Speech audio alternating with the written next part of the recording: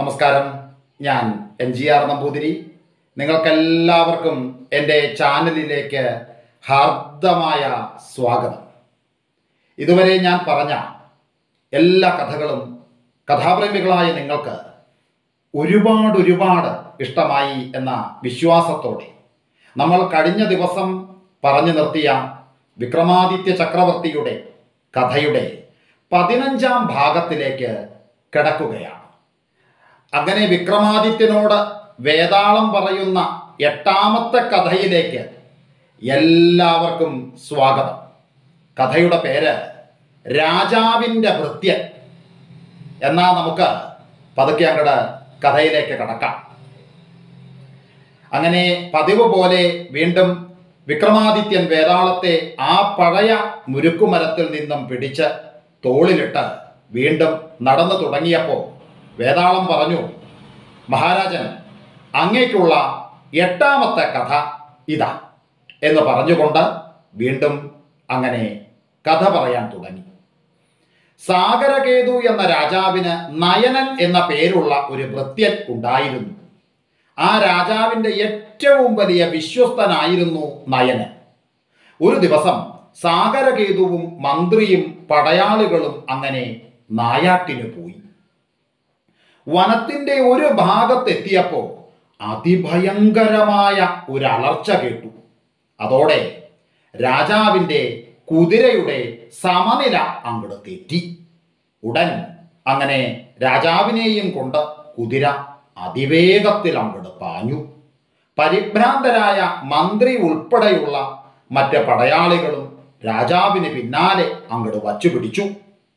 കുതിര കാടിന്റെ ഉള്ളിലേക്കാണ് ഓടിയത്. എത്ര ശ്രമിച്ചിട്ടും അതിനെ നിയന്ത്രിക്കാൻ രാജാവിന് അങ്ങോട്ട് സാധിച്ചില്ല. മരങ്ങളും വള്ളികളും ഇഴപിണഞ്ഞ് കിടന്ന ഒരു ഗുഹാമുഖത്തിന് മുന്നിലെത്തി. അവിടെ വച്ച് കുതിര പെട്ടെന്ന് അങ്ങോട്ട് നിന്നു. അടുത്ത ക്ഷണത്തിൽ ആ അലർച്ച വീണ്ടും കേട്ടു. അതോടെ ആ കുതിര രാജാവിനെ താഴെയിട്ട് നിലത്ത് കിടന്ന് പിടയാൻ തുടങ്ങി. ഗുഹയിലെ ഇരുട്ടിൽ നിന്ന് ഒരു ഭീകര ജീവി പുറത്തേക്ക് തല നീട്ടി. ആനയേക്കാൾ വലിപ്പമുള്ള സിംഹത്തേക്കാൾ കരുത്തുള്ള ഒരു മൃഗവ്യാളി എന്ന ജീവിയായിരുന്നു അത്. ശരഭം എന്ന മറ്റൊരു പേരുമുണ്ട് ആ ജീവിക്ക്. കാട്ടിലെ മറ്റു ജീവികളൊന്നും അതിന്റെ മുന്നിൽ നിൽക്കില്ല. ശരഭത്തെ കണ്ട് ഭയന്ന മന്ത്രിയും ഭടന്മാരും അങ്ങടെ ജീവനും കൊണ്ട് ഓടി രക്ഷപ്പെട്ടു. പക്ഷേ വാളും ഉയർത്തി രാജാവ് മാത്രം അവിടെ നിന്നു. രാജാവിന് നേരെ നോക്കി ആ ജീവി ഉറക്കയൊന്ന് അലറി. തന്റെ കഥ കഴിഞ്ഞതായി രാജാവ് കണക്ക് കൂട്ടി പക്ഷേ അടുത്ത ക്ഷണത്തിൽ ആ ഭീകര ജന്തുവിന്റെ മേൽ എവിടെ നിന്നോ ഒരു അമ്പ് വന്ന് തറച്ചു. തുടർന്ന് തുരുതുര അമ്പുകൾ അങ്ങനെ വന്ന് തറച്ചുകൊണ്ടിരുന്നു.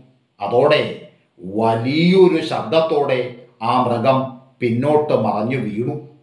കയ്യിൽ അമ്പും വില്ലുമായി തന്റെ പിന്നിൽ നിന്ന നയനനെ കണ്ട് രാജാവ് ആശ്ചര്യപ്പെട്ടു പോയി. മറ്റെല്ലാവരും ഉപേക്ഷിച്ചു പോയപ്പോഴും തന്റെ രക്ഷയ്ക്കായി വില്ലെന്തിയ ആ ഭൃത്യനെ രാജാവ് മനസാ വന്ദിച്ചു. തിരിച്ച് കൊട്ടാരത്തിലെത്തിയതിന് ശേഷം നയനന് രാജാവ് വിശേഷപ്പെട്ട സമ്മാനങ്ങളൊക്കെ അങ്ങോട്ട് നൽകി. അങ്ങനെ ഇരിക്കെ ദൂരദേശത്തായി ഒരിടത്ത് ഒരു രാജകുമാരിയെ പാണിഗ്രഹണം ചെയ്യാൻ രാജാവിന് ഒരാഗ്രഹം അങ്ങോട്ട് തോന്നി. നയനനെയാണ് ദൂതുമായി അദ്ദേഹം അയച്ചത്. നയനൻ രാജാവിന്റെ സന്ദേശവുമായി പുറപ്പെട്ടു. മാർഗമധ്യേ സമുദ്രം കടക്കേണ്ടതായി വന്നു. പക്ഷേ ഇടയ്ക്ക് കൊടുങ്കാറ്റിൽ കപ്പൽ തകർന്നു. നയനൻ മാത്രം ഒരു ചങ്ങാടത്തിൽ പിടിച്ച് അങ്ങനെ കരയ്ക്കടുത്തു. കരയിലെത്തി കുറേ ദൂരം നടന്നപ്പോൾ ഒരു താമരപ്പൊയ്ക കണ്ടു. അതിൽ കുറേ സുന്ദരികൾ കുളിച്ച് രസിക്കുകയാണ്. അതിലൊരാളെ നയനന് വലിയ ഇഷ്ടായി. അയാൾ ആ സുന്ദരിയോട് അങ്ങട് തുറന്നടിച്ചോണം പ്രേമാഭ്യർത്ഥന നടത്തി. അത് കേട്ടപ്പോൾ അവൾ പറഞ്ഞു ആട്ടെ നിങ്ങൾ യാത്ര ചെയ്ത് ക്ഷീണിച്ചിരിക്കുകയാണ്. ഇവിടെ അടുത്തൊരു കിണറുണ്ട്. നിങ്ങൾ ആ കിണറ്റിലിറങ്ങി ഒന്ന് കുളിച്ചു വരൂ എന്ന് അവൾ പറഞ്ഞു. അത് കേട്ട പാടെ നയനൻ ആ കിണർ കണ്ടുപിടിച്ചു. വലിയ ആഴമുള്ള താഴേക്ക് പടികൾ കെട്ടി ഇറക്കിയ ഒരു കിണറായിരുന്നു അത്. അയാൾ ആ പടികളിലൂടെ താഴേക്ക് ഇറങ്ങി കുറേ ആഴത്തിലെത്തിക്കഴിഞ്ഞപ്പോൾ പടികൾ കാണാതായി. ആ ഇരുട്ടിൽ കിണറിന്റെ രണ്ട് വശങ്ങളും പിടിച്ച് പിടിച്ച് അയാൾ ഒരു വിധത്തിൽ അങ്ങടേക്ക് താഴേക്ക് ഇറങ്ങി അങ്ങനെ താഴെ ചെന്നപ്പോൾ അവിടെ വെള്ളമില്ല. പകരം അകലെ ഒരു ഗുഹാവെളിച്ചം കണ്ടു. നയനൻ അതിലൂടെ പുറത്തിറങ്ങി. പെട്ടെന്ന് അയാൾ ഒരു ഞെട്ടലോടെ കണ്ണു മിഴിച്ച് നിന്നു. അയാൾ എത്തിയത് അയാളുടെ നാട്ടിൽ തന്നെയായിരുന്നു. അങ്ങനെ നാട്ടിലേക്ക് എളുപ്പം വന്നു ചേരാനുള്ള ഒരു കുറുക്കുവഴി താൻ കണ്ടെത്തിയതിൽ അയാൾക്ക് വലിയ സന്തോഷം തോന്നി. വേഗം അയാൾ കൊട്ടാരത്തിലെത്തി രാജാവിനോട് വിവരങ്ങളെല്ലാം പറഞ്ഞു.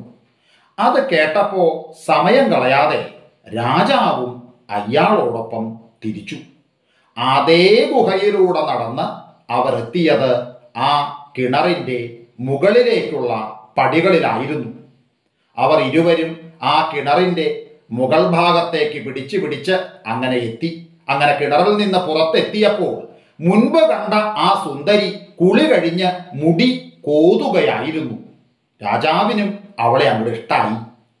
അതുപോലെ തന്നെ രാജാവിനെ കണ്ടതോടെ അവൾക്ക് അദ്ദേഹത്തോട് തിരിച്ചും അങ്ങട് അനുരാഗം തോന്നി. അങ്ങയെ വിവാഹം കഴിക്കാൻ തനിക്ക് ആഗ്രഹമുണ്ടെന്ന കാര്യം അവൾ രാജാവിനോട് നേരിട്ട് അങ്ങോട്ട് പറഞ്ഞു.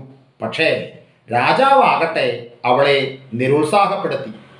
തന്റെ ഭൃത്യന് വിവാഹം ആലോചിക്കുന്നതിനാണ് താൻ വന്നതെന്നും നിങ്ങൾക്ക് നയനനെ ഇഷ്ടമാണെങ്കിൽ നിങ്ങൾ നയനനെ വിവാഹം കഴിക്കണമെന്നുമാണ് തന്റെ ആഗ്രഹമെന്നും രാജാവ് അങ്ങോട്ട് പറഞ്ഞു. അവൾ അത് സമ്മതിക്കുകയും അങ്ങനെ നയനന്റെ മോഹം സാധിക്കുകയും ചെയ്തു. ഇത്രയും പറഞ്ഞ വേതാളം കഥ നിർത്തി. എന്നിട്ട് വിക്രമാദിത്യന് നേരെ ഒന്ന് നോക്കി. എന്നിട്ട് വേതാളം ചോദിച്ചു രാജാവിന്റെ ജീവൻ രക്ഷിച്ച നയനന്റെ പ്രവൃത്തിയാണോ? അതോ നയനനു വേണ്ടി തന്റെ ആഗ്രഹം ത്യജിച്ച രാജാവിന്റെ പ്രവൃത്തിയാണോ? കൂടുതൽ ശ്രേഷ്ഠം. ഇതായിരുന്നു വേതാളത്തിന്റെ ചോദ്യം. നയനന്റെ ജോലിയാണ് രാജാവിന്റെ സംരക്ഷണം. അതിന് അയാൾക്ക് പ്രതിഫലവും ലഭിക്കുന്നുണ്ട്. എന്നാൽ തന്റെ വൃത്യനു വേണ്ടി സ്വന്തം ആഗ്രഹം ത്യജിച്ച രാജാവിന്റെ പ്രവൃത്തി നിസ്വാർത്ഥമാകുന്നു. അതിനാൽ സംശയമില്ല. രാജാവിന്റെ പ്രവൃത്തി തന്നെയാണ് പരമശ്രേഷ്ഠം എന്ന് വിക്രമാദിത്യൻ അങ്ങോട്ട് മറുപടി പറഞ്ഞു.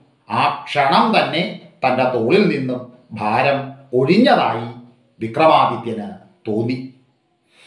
ഉത്തരം വളരെ ന്യായവും കൃത്യവുമായതിനാൽ വിക്രമാദിത്യ മഹാരാജാവിന്റെ തലയ്ക്ക് ഇത്തവണയും ഒന്നും സംഭവിച്ചില്ല. ഉത്തരം കേട്ട സന്തോഷത്തിൽ വേതാളം ഒറ്റ ചാട്ടത്തിന് വിക്രമാദിത്യന്റെ തോളിൽ നിന്ന് പറന്ന് ആ പഴയ മുരിക്കിന്റെ മരത്തിൽ തന്നെ പോയി. വീണ്ടും തല കീഴായി കിടന്നു. വേതാളം പറഞ്ഞ ഒൻപതാമത്തെ കഥയുമായി എന്റെ കഥാപ്രേമികളുടെ മുന്നിൽ അടുത്ത ദിവസം തന്നെ ഞാൻ വീണ്ടും എത്തും എന്ന ഉറച്ച വിശ്വാസത്തോടെ തൽക്കാലം ഞാൻ നിങ്ങളോട് വിട പറയുന്നു. എല്ലാവർക്കും ഒരിക്കൽ കൂടി എന്റെ നന്ദി നമസ്കാരം.